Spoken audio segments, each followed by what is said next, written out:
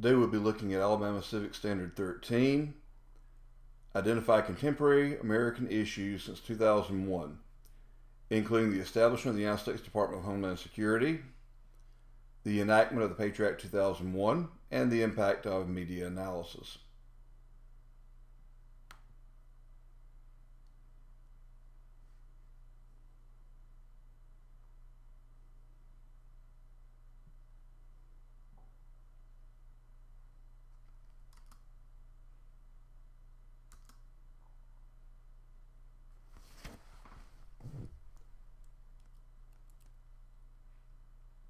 We begin with the presidency of George W. Bush.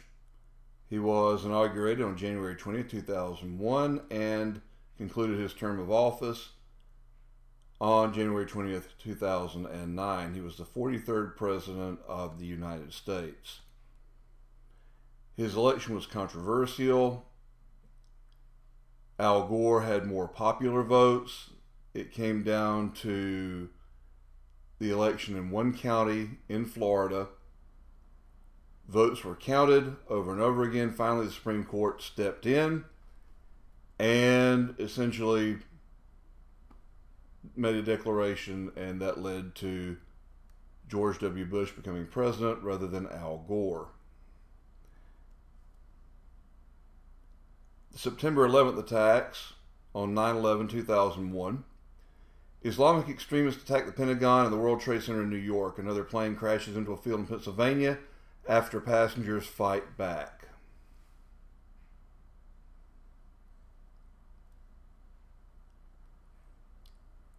This led to the U.S. war in Afghanistan. Now, the war in Afghanistan began in 1978 and it continues today. The United States entered the war against the Taliban faction in 2001 over their failure to hand over Osama bin Laden uh, for trial in the United States. The Afghan war is ongoing and no one really has a, an idea of when it may end. The Soviet Union was involved back in the 80s. Eventually they left. We got involved in 2001 and we're still there. The Department of Homeland Security started on November 25th, 2002. It was established as a cabinet level agency charged with protecting the United States from terrorism, natural disasters, and major accidents. It had actually been proposed before the 2001 terror attacks, but afterward it was implemented as a way of combining all the agencies that would be relevant to preventing an attack on American soil lack of communication between agencies, particularly FBI and the CIA, before the attacks was blamed for the attacks succeeding. So the department was intended to help communication between these agencies.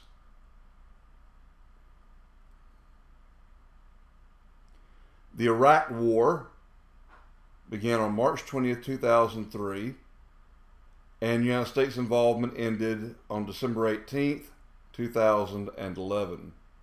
The United States invaded Iraq over concerns about weapons of mass destruction. We stayed in Iraq. We found Saddam Hussein. He returned him over to the new Iraqi government. He was hung. Eventually, we came to a point with the new government of Iraq that they did not want us in the country, and we left. We could not reach an agreement on keeping our forces in the country. The Human Genome Project was completed on April 14, 2003. For the first time, the entire human genome was sequenced. We understood the DNA in a human. This is a huge step forward in medicine. We're still working with the research to find cures for diseases, treatments for cancers, ways that our understanding of genetics can be used to further medicine. It's also being used in genealogy. For less than $100 now, you can have your genotype. It's not a full sequencing, but a small sequencing of your DNA done. And you can be connected to other people that you're related to that you've never met before.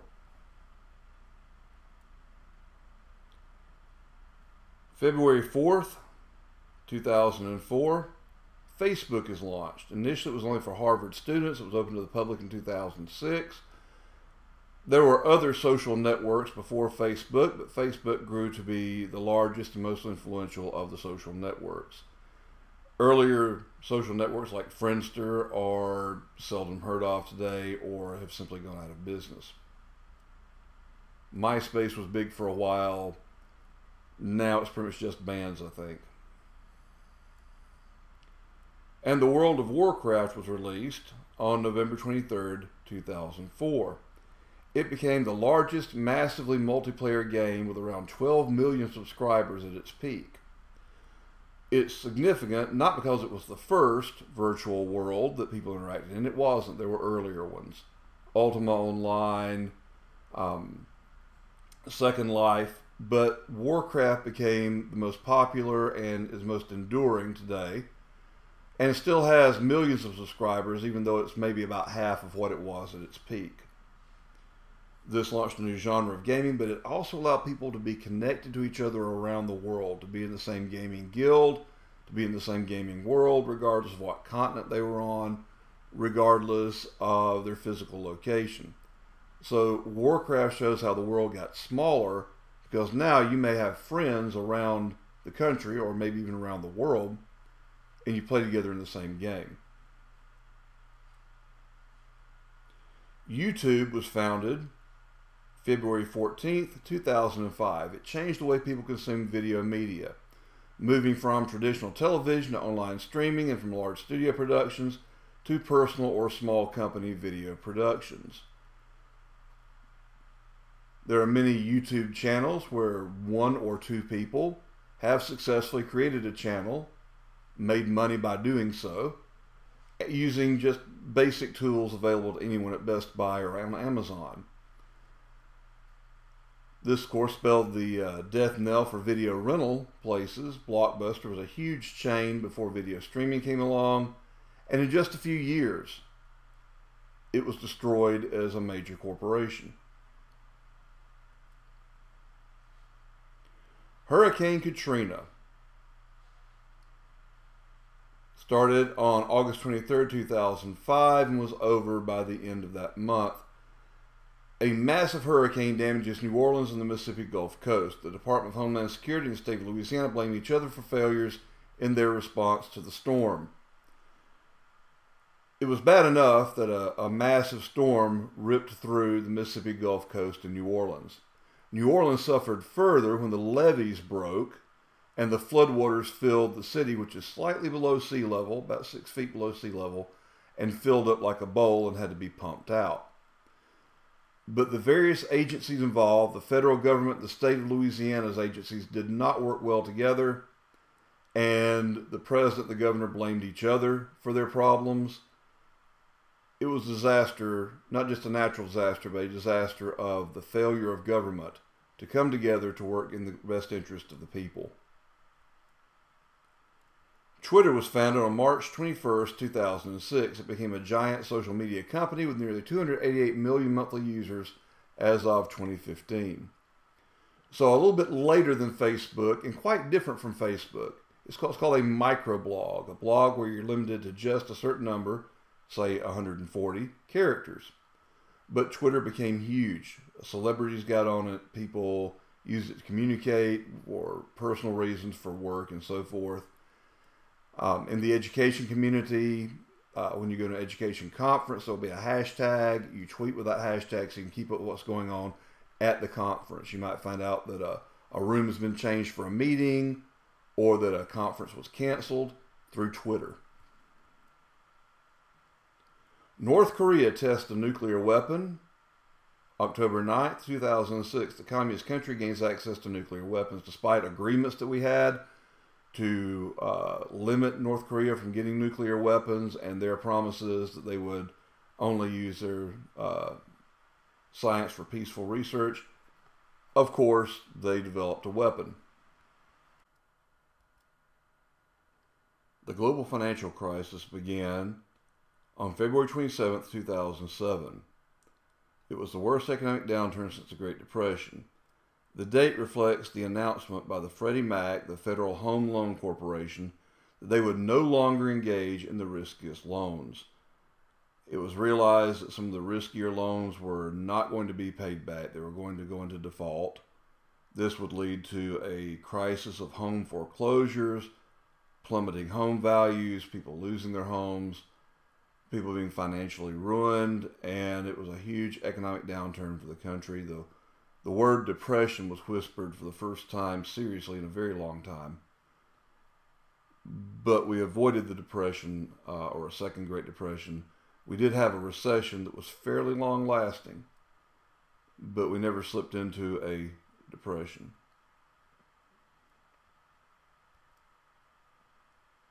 The iPhone 1 was released by Apple on June 29th, 2007.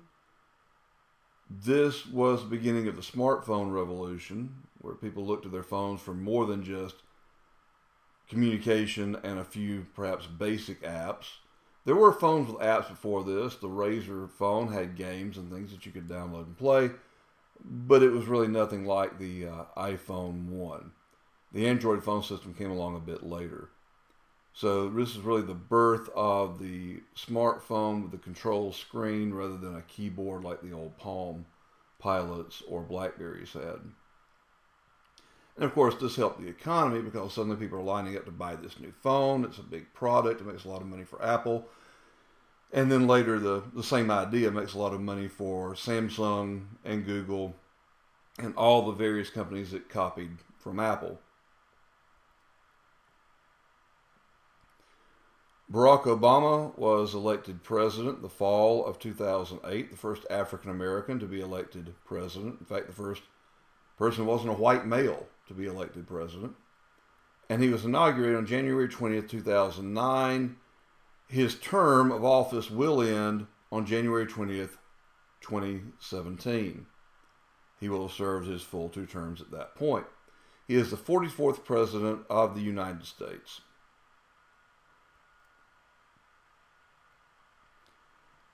On April 3rd, 2010, the iPad was released by Apple. The iPad makes tablet computing popular and commonplace. There were tablet computers around before this.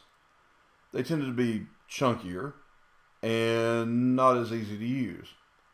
Many people thought the iPad would fail. Why do we need an iPad? We have a portable notebook computer. If we need something small, we have an iPhone. Why do we need this in between device? But of course, it became very popular. You've got one in front of you here at our school. And it really changed the way, again, people use computers. Less and less people have a desktop computer or even a notebook computer. More and more, you have a tablet or a phone or a phablet, which is a large phone kind of between the size of a tablet and a regular phone. The Arab Spring begins on December 10th, 2010. Populations in several Arab nations overthrow dictatorships in a series of revolts following. The map here from Wikipedia shows which countries uh, were affected and changed governments. And of course, in Syria, there's still an ongoing war as of today, October 4th, 2015, that I'm making this presentation. And Russia's gotten involved in that war. The United States is involved in that war. Uh, it seems to be escalating. By the time you actually uh, watch this presentation in several weeks, there may be some things I need to add to it. Osama bin Laden was killed on May 2nd, 2011. Navy SEALs killed bin Laden in a raid in Pakistan.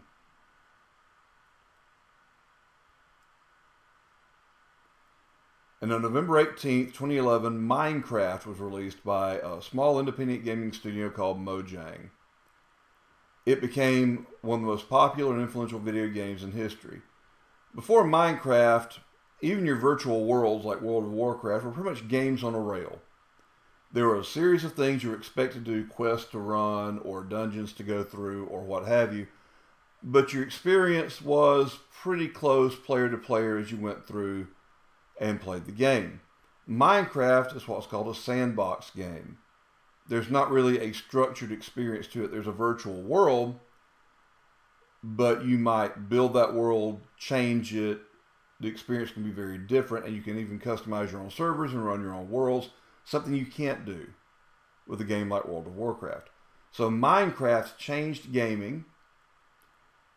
Whereas before, you might be playing with people around the world on a server hosted by uh, a big corporation, Blizzard Entertainment. With Minecraft, you might be hosting your own server at home with people logging in to play from around the world. In a world that you built, that you created, that you customized. Encyclopedia Britannica ended the print edition on March 13, 2012. After 244 years of production, the famous Encyclopedia Britannica discontinues the print edition and now exists solely as a website. When I was in third grade, my parents bought a set of the Encyclopedia Britannica. It was very expensive.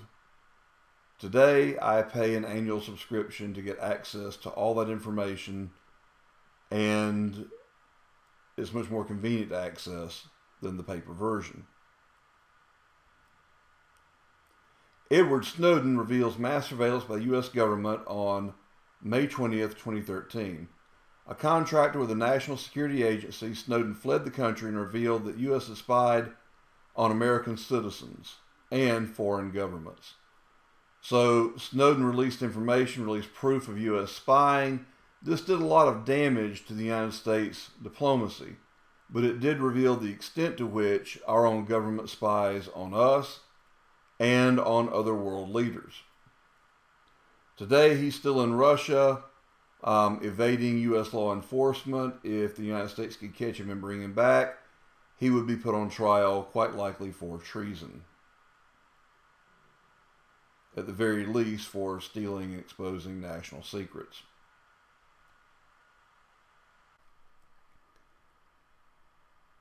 The Islamic State proclaims a worldwide caliphate.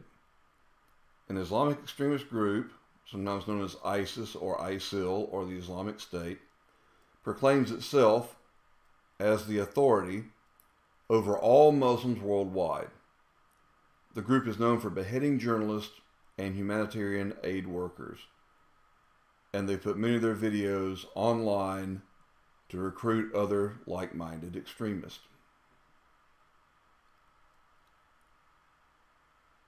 From January 7th to January 9th, 2015, we had the Charlie Hebdo attacks in France. Islamic extremists attacked targets in France, including a humor magazine, a political cartoon magazine, named Charlie Hebdo.